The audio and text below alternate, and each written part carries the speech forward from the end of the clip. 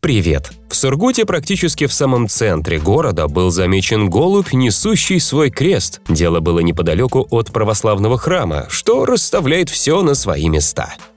Теперь есть оправдание разбросанным по квартире вещам. В случае Арсения это не просто беспорядок. Он может говорить «я художник, я так вижу».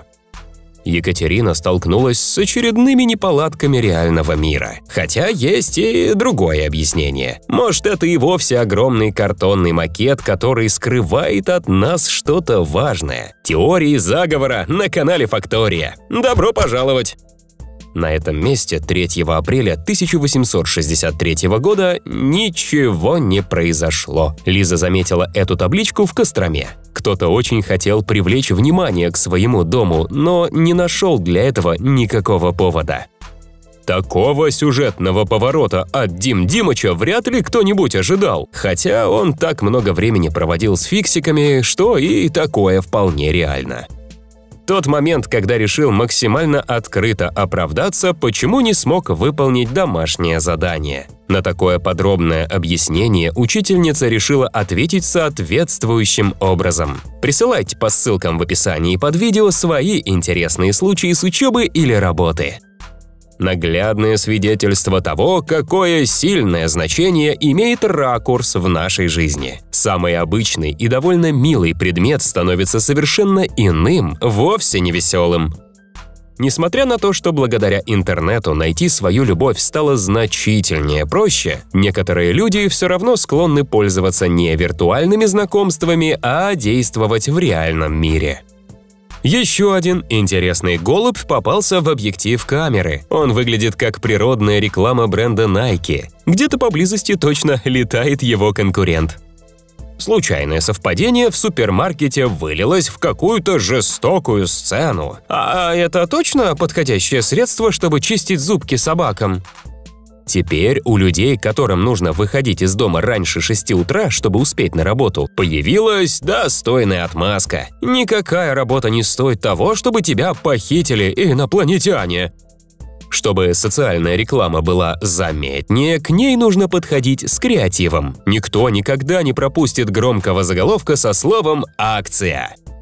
Странного человека видно издалека, если он одет в странную одежду. Какое-то нелепое дизайнерское решение, разве нет? Хотя все всегда можно оправдать одной коронной фразой. Демьян столкнулся с ситуацией, которая прекрасно доказывает, что люди, питающиеся фруктами и овощами, очень крепкие. Теперь точно ни у кого не должно остаться сомнений в полезности яблочек. Паша встретил такого Михалыча Добродетеля в текстильном магазине. Хотелось бы, конечно, увидеть его и в полный рост. Слишком ведь заманчивое объявление. Особенно момент с запретом на обнимашки. Автор фотографии не стал объяснять, что, где и почему происходит на этом фото. Но сдается мне, что дело происходило рядом с заведением с очень крутой атмосферой и интерьером. Случай произошел в московской электричке с Никитой. Все фанаты Гарри Поттера в этот самый момент пожелали оказаться на месте везунчика, которому удалось встретиться с таким персонажем.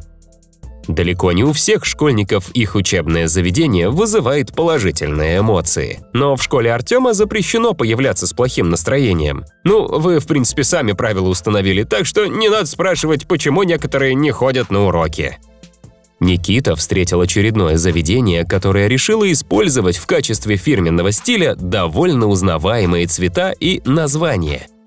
Еще одно случайное столкновение с отсылкой к реальной жизни. Могу предположить, что за щитом находится канализационный люк, в котором ведутся какие-то работы. Штирлиц еще никогда не был так близок к провалу. В некоторых случаях так маскируются здания, которые реставрируют. Но что-то мне подсказывает, что это не проданное фото. Этот манекен всегда дежурит в кабинете ОБЖ. Ученики ему даже дали имя – Максим. И, по-моему, ему уже поплохело от того, что он все время проводит на уроке. Эта фотография была сделана в последний учебный день перед каникулами. Неприятная ситуация произошла по вине одноклассника Романа. Кажется, кому-то пришлось задержаться в тот день в школе. Уважаемые клиенты, отправка и получение производятся только при наличии оригинала паспорта Вполне себе классическое объявление из службы доставки, но самые внимательные заметили и мелкий шрифт. В противном случае идите лесом. Что принято брать с собой в школу? Естественно, учебники, письменные принадлежности и тетради. Но у некоторых, судя по всему, в обязательном списке находится еще и кетчуп. И как же мы все это время раньше справлялись без него на какой-нибудь алгебре? Елизавета нашла идеальный пример, как отличный лозунг может поднять настроение покупателю и побудить его купить именно этот товар.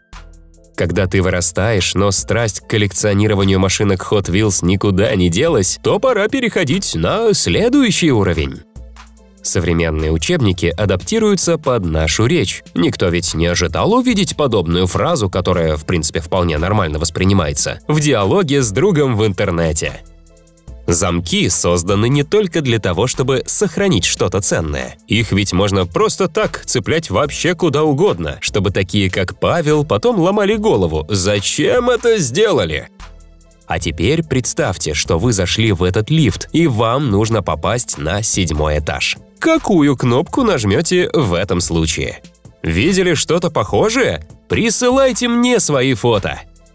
Старая стиральная машина может послужить хорошей заменой пластиковому окну. Да и, в принципе, будешь чувствовать себя космонавтом, который разглядывает Землю в иллюминаторе. Ксения просто обожает свой класс, потому что у них учатся очень инициативные ребята, с которыми не бывает скучно. Всем бы хотелось такую неделю приколов. Фактория одобряет. В этом выпуске у нас слишком много необычных фотографий, которые попадались нашим зрителям в общественном транспорте. Ситуация в московском метро, встреченная Павлом. Суровые реалии нашего мира. Теперь даже отдохнуть на качели дано не всем. И, как всегда, подписчики Фактории смогли найти этому разумное объяснение – Раньше мы делали вертолеты из одной ручки и двух линеек, но теперь развлечься на учебе стало еще проще, потому что воздушный транспорт подготовлен заранее. Кто-то сомневается в том, что на Марсе есть жизнь? Еще как есть, и Анастасии практически удалось ее увидеть. Только ей в тот день было немного не по пути. Екатерина рассказала, что эта скульптура весит 45 килограммов. И самое главное, что эти 45 кг чистого шоколада. Это мы однозначно покупаем. Не все же знаки должны быть обязательно причастны к дорожному движению, верно? Если подобных знаков будет чуточку больше, то наш мир станет только лучше. Для тех, кто уже успел побывать на Марсе, Анастасия нашла еще одну интересную локацию. Следующим рейсом нужно отправляться в май, и перед началом зимы это звучит очень актуально. Не каждому ведь охота мерзнуть три месяца. У каждого есть свой метод создания шпаргалок. Варя решила сильно не заморачиваться и использовала свое тело как одну большую шпаргалку. Анастасия знает толк в правильной мотивации. Эта табличка висит у нее над кроватью. Она читает текст первым делом, как только открывает глаза. Поэтому каждый день проходит с улыбкой. Перед вами заварник для чая. Вроде бы какая-то мелочь, но она сильно меняет привычный для всех процесс. Лавочка, от одного вида которой уже становится плохо. И я даже боюсь представить, каково на ней попытаться усидеть. Быть красивой или красивым не так уж и просто. И дело не в том, что на уход за собой мы тратим энное количество времени. Главная проблема, что порой это не так уж и дешево. Дмитрий встретил этого очаровательного малыша в парикмахерской. По самой стрижке никаких отзывов не было, но только за эту фигурку можно было уже ставить 5 звезд. Всего лишь отвалившаяся буква в вывеске придает этому месту какое-то тленное настроение, которое вызывает грусть. Креатив некоторых создателей игрушек по-настоящему пугает. Такое хочется купить только ради того, чтобы избавиться от них и предостеречь других людей от травмирования психики. В очередной раз кто-то решил показаться самым умным и неумело замаскировался под популярную сеть фастфуда. Вряд ли кто-то из водителей хотел бы увидеть на своей машине такой сюрприз. И, кстати, эту фотографию прислала та же Настя, у которой висит над кроватью мотивирующая фраза, связанная с улыбкой. Просто совпадение? Наш язык прекрасен тем, что в нем очень легко найти игру слов, если правильно их подбирать к конкретному случаю. Было название города, стало название магазина. Видели когда-нибудь светлячка вблизи? Теперь у вас есть такая возможность. Этот снимок был сделан на просторах Южного Урала. Похожую вывеску мы уже сегодня видели. Когда кто-то использует один креативный прием, а затем за ним начинают повторять все остальные, то это уже перестает быть креативным. Так что ждем следующего тренда на название. Не всем по нраву прокат самокатов, которые пользуются летом популярностью в крупных городах. Кто-то решил выплеснуть на них всю свою злость. Виктор столкнулся с забагованными текстурами в своей же школе. Очень непонятная ситуация. Хотелось бы посмотреть и из других ракурсов. Ирина осталась в шоке от того, что некоторые люди считают антистрессом, череп, внутри которого находятся личинки. Ну, да, у каждого свои методы для релаксации.